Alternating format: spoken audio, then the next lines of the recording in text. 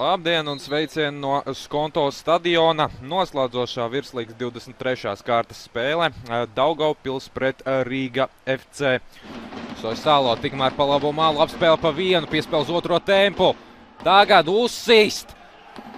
Bābets tieši pa dēļ Izraela triec bumbu. Soisālo uz tālo stābu. Neizdodās iespiest bumbu zem vārtu pārlikņa. Gustavo Dolanto, 1,96 m. Vēlreiz atgādinu.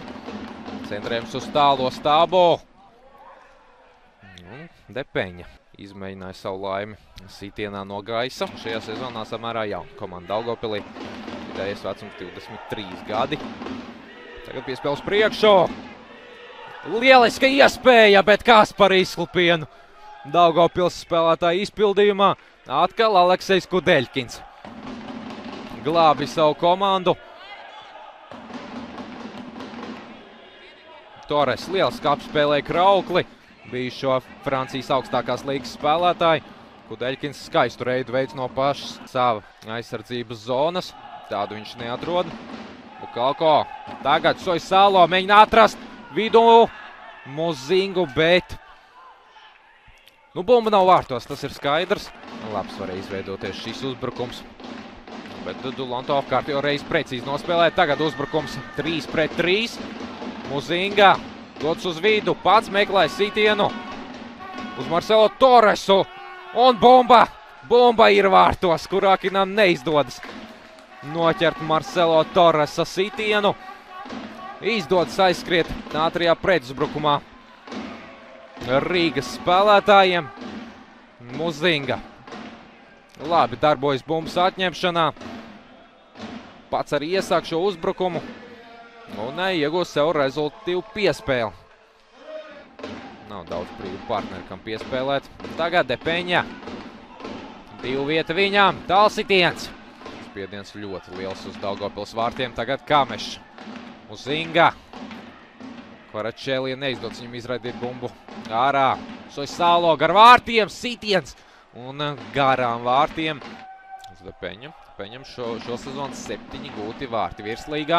Torres nav atradies viņš aizmugurē. Joprojām ar bumbu viņš uz tālo stābu.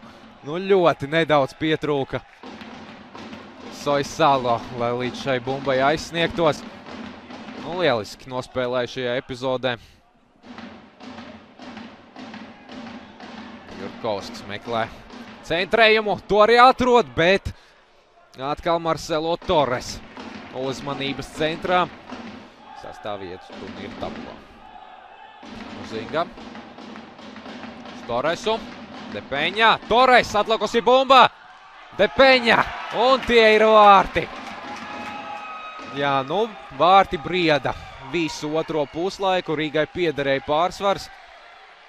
Un to izdodas pārvērst arī gūtos vārtos. Skaista saspēle. Un Marcelo Torres uzdāvina Depeņam gūtus vārtus. Un tur jau pustukšos vien atlikies iz Depeņam. Un tas nozīmē astotie vārti Brazīliešu uzbrucējs. Uz Marcelo Torresu. Torres sitiens. Un Vladislavs Kurakins. Depeņā. Deli Izraelu. Bumba saglabāta. Atkal Marcelo Torres. Torres gar vārtiem. Tur jau Aranžels. Gaidīja, kad bumba nonāks pie viņa. Precīzi nospēlēm. Rīgas spēlētājs skaista kontrole. Depeņam.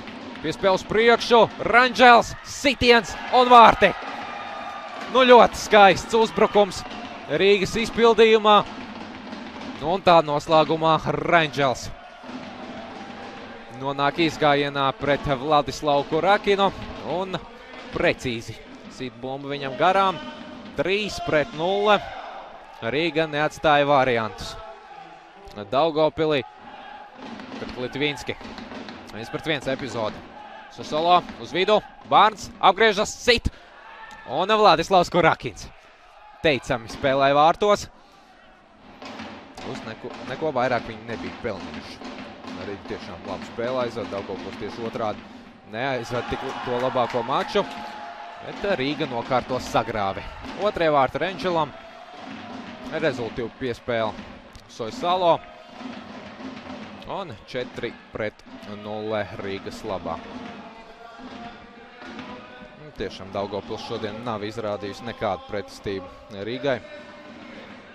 Tas šajā spēlē arī ir bijis tieši tā. Rīga eh, svin pārliecinošu uzvaru. 4 pret 0 uzvarēta turnīra sastā vieta.